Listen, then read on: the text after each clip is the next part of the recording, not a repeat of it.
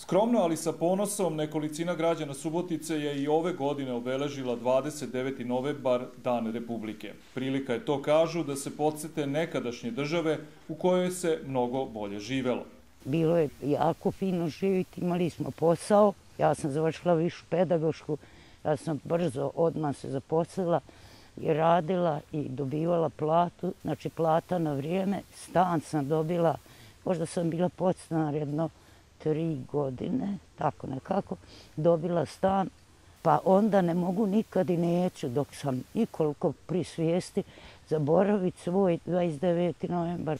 Obeležavanje je Dana Republike, zajednički organizuju Centar Tito i pokret Četvrta min Jugoslavija.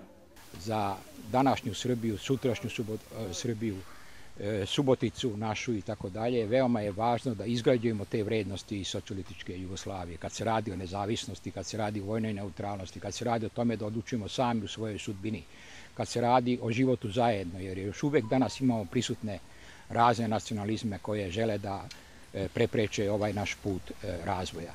Jugoslavije i crveni pasoš je bio najpoznatiji pasoš na planeti Zemlje. I kažem, nije valjalo? Ovo valja?